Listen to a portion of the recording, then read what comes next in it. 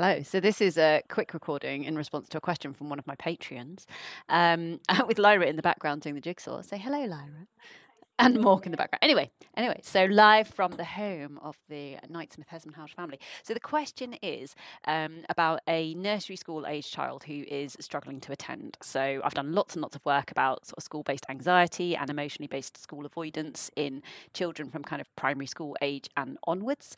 Um, but this is about a child who's struggling to attend nursery school and having meltdowns or tantrums or similar big episodes in the morning, and um, both at nursery and at home, they're wondering what to do next because they don't seem to be making progress. So, I'm going to put this as a shout out on my socials, and I would love to hear what you're doing if this is something that is an area of expertise or experience for you.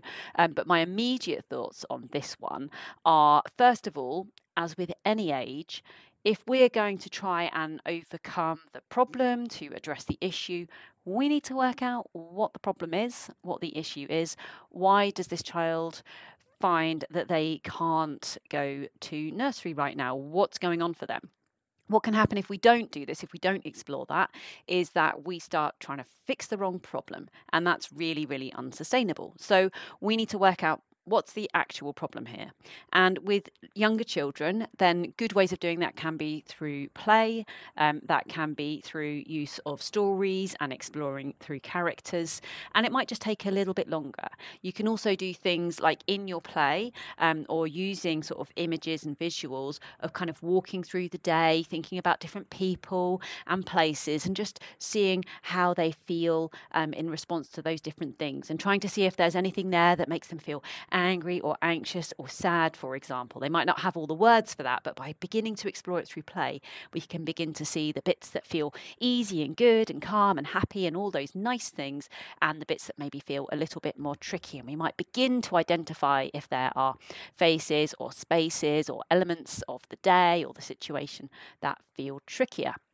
The other thing um, that we can think about when um, helping, again, children of any age, but thinking about this particularly with the nursery school age children now, so our early years, um, is thinking about what that drop off looks like. Because we might have a bit of kind of separation anxiety going on here.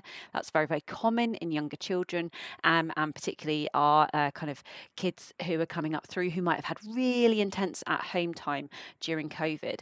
Um, and so thinking about what that drop off moment looks like. Ideally, we want want to have home and nursery working together to agree what these kind of routines and rituals look like in the morning.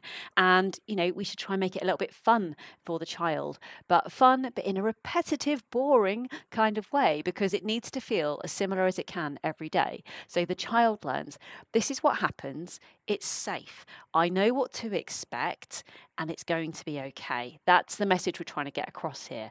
And we might do this through things like um, creating a special way of saying goodbye. So perhaps there might be a special handshake or a way of uh, having a hug or a kiss or a little song that we sing whatever works between the child um, and the adult who is uh, saying goodbye to them. It's, it's about making it work for them, creating their own little ritual there, um, and then thinking about and who are they being passed on to. Um, so, who is going to meet and greet and make this child feel excited um, and ready to engage with the day ahead and make that fun for them?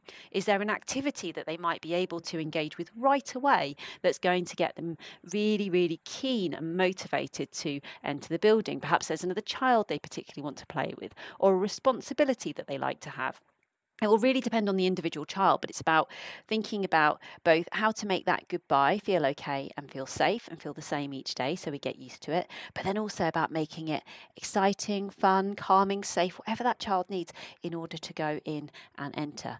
The other bit of the equation here that's really important is that you must remember if you're working in the nursery, if a child has a difficult goodbye and perhaps there is distress, tears, upset, anger, any sort of big tricky feeling for a parent or carer to watch, assume as the person working with that child that we are going to think that child has stayed in that state all day unless you tell us otherwise. So, one of the things that can help is if you could just let us know actually your child did calm and it was okay. Because that helps us as the adult at home to know, oh, okay, good. Actually, they're all right. That reduces our anxiety. That gives us permission and the ability to go on and get about the rest of our day, to perhaps even exercise a little self care, and means that we're more able to support that child moving forward. We're, we're less anxious, our emotional resilience is higher, and, and so on and so forth. So, that communication between home and nursery actually really makes a big difference here all round. So yeah, that's this is where I would start essentially try and understand what the issue is. Why is there this this reluctance? Why can't the child um, uh, attend as perhaps their peers are managing? What's the blockage here? So then we can begin to think about: is there anything we can do to address, change, manage that for for this child? and then be thinking, okay, are there ways that we can make that actual moment of drop off, which can be challenging for both child and parent or carer, uh, more predictable, more fun, more motivating for the child, and make sure that they feel safe and ready to enter, making it the same each day so they know just what to expect, which means it gets easier and easier and easier. I look forward to hearing your ideas too. Um, I'll pop over onto the socials now and uh, put a call out because you always have so many brilliant suggestions. I really look forward to hearing them. Okay, until next time, bye bye.